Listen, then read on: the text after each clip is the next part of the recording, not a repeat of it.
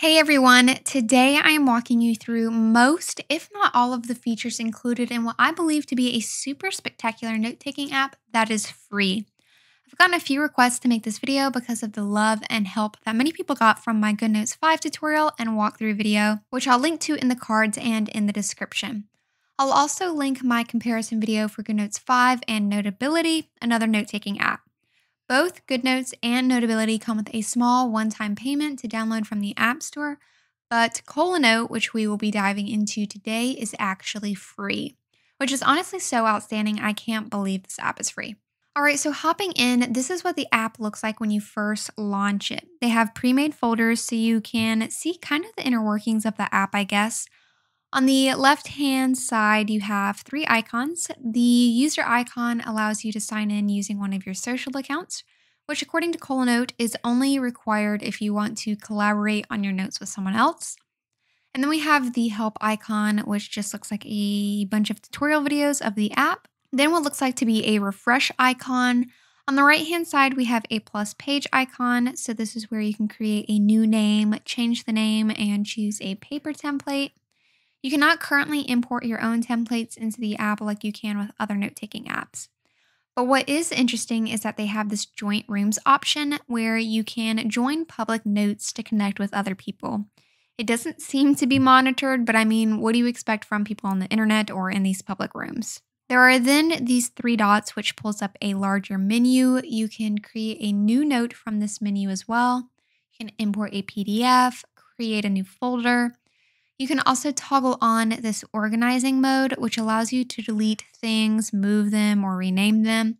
They do have this style option, but it appears to only be in beta. They also have options to create a folder on your iCloud Drive and then move notes between the local folder of notes stored in CollaNote and then the iCloud Drive folder. And then you also have sort options by name, the date it was created, or the date it was edited. And then you can turn on tips for additional help, which could be nice.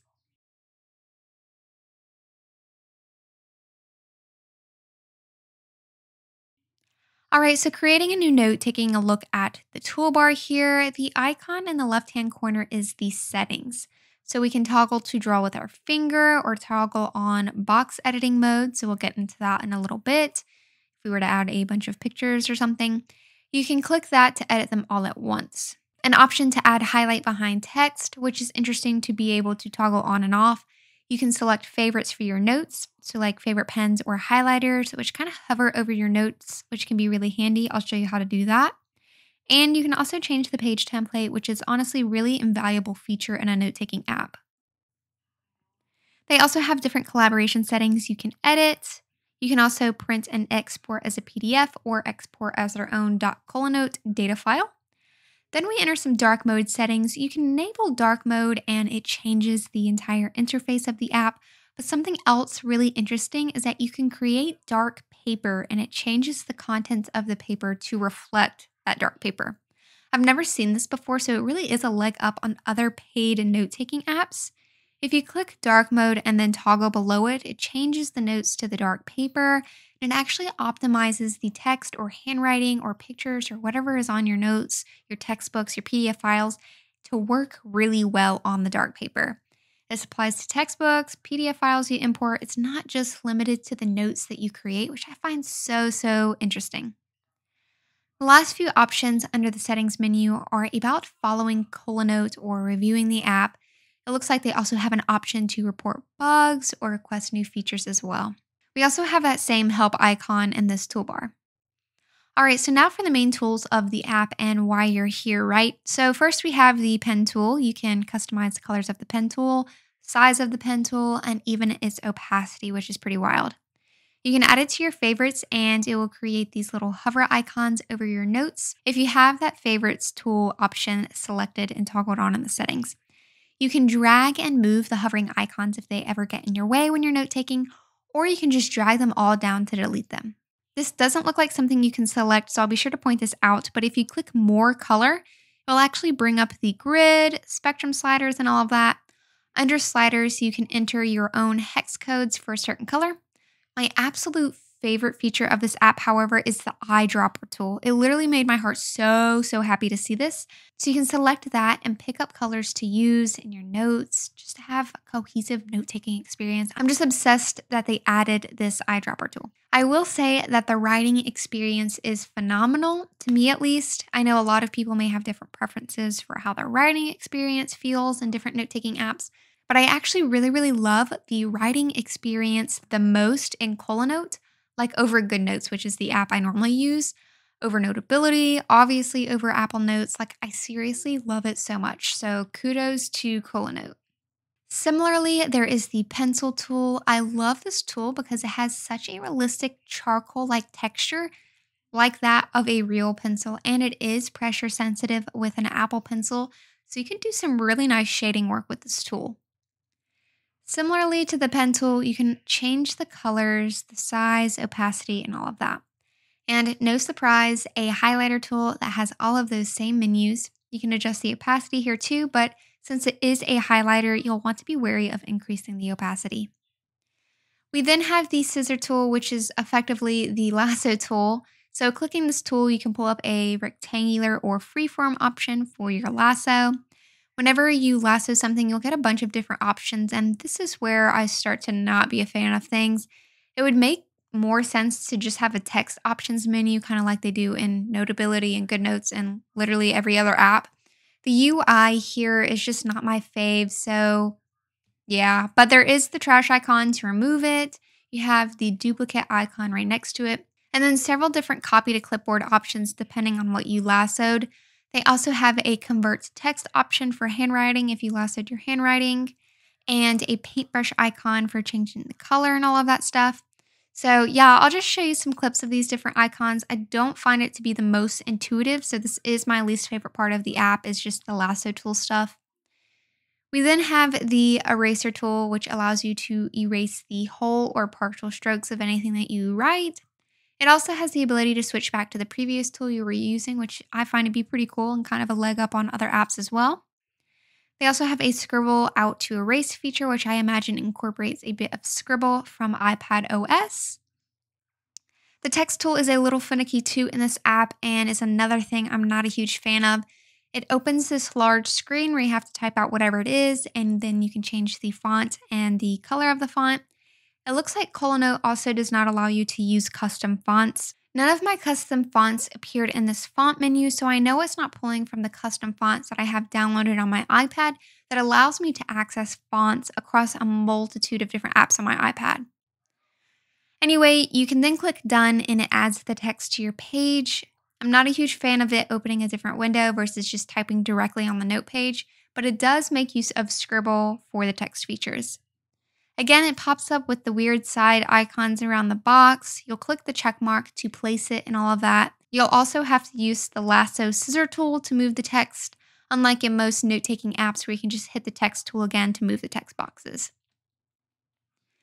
This star icon has multiple settings. They have a lasso pointer, which you can actually change the size and style of, an automatic shape tool, which actually allows me to draw more shapes than the one in GoodNotes, so like hearts and stars, you can't hold to create automatic shapes or straight lines like you can in GoodNotes and Procreate. You actually have to come and click this option, at least at the time of me filming this video. They have a fill tool, which is pretty cool. You can fill shapes with different colors, which you can't do in other note taking apps I've tried. And it also has this pretty hazy looking fill option as well, so more options than just a solid color fill. And then they have a curve tool, which could be helpful for those who write and draw a lot of graphs in their notes. They have video icons here so you can see more about these features too, which is pretty helpful. Then they have a ruler tool, which I find to be the best ruler I've seen or used in other note taking apps I've tried. This is another way to create those straight lines. It also shows the angle of the ruler, which I personally would have loved to have in my physics and math classes I was taking whenever I was a chemistry major. Then they have this hand icon. If you select this, you can draw and do stuff in CollaNote with your finger. At first, I thought this was the reading versus editing tool like in other note taking apps, but I've honestly tried absolutely everything and it just doesn't seem to be a feature in CollaNote currently, and that's clicking embedded links. So, this means you cannot make full use of links in things like digital planners or notebooks, textbooks, or any other PDF files that you use that have these embedded links. You'll just have to scroll to the page that you want. They then have this picture tool, which I find to be a little bit misleading. If you click it, it allows you to edit anything that has a box, so to speak. So, text boxes, pictures if you imported them, which I'll show you how in a sec. The current UI gives the impression that this is the tool you select to add pictures, but it's really the one to edit them in text boxes for some reason. Box editing mode, I guess, like I mentioned earlier in the settings menu. They then have this recording feature that so many Notability users love, and it's honestly the exact same as in that app, so that could be really helpful if you feel that you need that feature in note taking apps, and this one's free. This plus icon on the right hand side has more options as well. This is where you can insert those images, paste images, and take photos. You can also insert text, paste rich or regular text, which are also really nice features. They also have scan settings built into this menu, which I find to be pretty unique compared to other note taking apps I've tried. And then, similar to GoodNotes, they have stickers that you can add to your notes. There currently isn't a way to add your own sticker collections like in GoodNotes, but they do have more pre made options available that you can try. This little people icon here shows you who the note was shared with and all of that stuff. And then we have this layers icon in the top right hand corner, which shows the pages in your notes. Clicking the plus page icon automatically adds a page to your notes, but you can also long press on a page and it will pull up the insert, duplicate, and delete page options. So that is most of, if not everything, about the CollaNote app that I've played with and discovered. It doesn't have all of the popular features like in other paid note taking apps, but it does have the most important ones in addition to tools and features I've never seen before. The writing experience is phenomenal in my opinion. The UI is not the best, and I did find the app to be pretty unstable. I was working in CollaNote for about 15 minutes when it decided to keep freezing up and crashing and I am using the newest M1 iPad Pro. However, it is a free app, which still blows my mind. I've paid for some note taking apps that I believe to be worse than CollaNote, and CollaNote is free. So if you're not sure whether you want to pay money for a note taking app, don't. Try out CollaNote, see if it works for you, and if it does, that's awesome. Another free thing you can do is to subscribe to the channel. I hope this video was helpful. If there are other note taking apps or any other apps you just want me to try out and do walkthroughs of, comment them down below. I'm happy to review them, check them out, and help you all with downloading apps that will help you take notes or just do other rad stuff on your iPad. I'll see you here next week on YouTube with another video. But if you want to see more of me until then, follow me over on Instagram, TikTok, or Pinterest.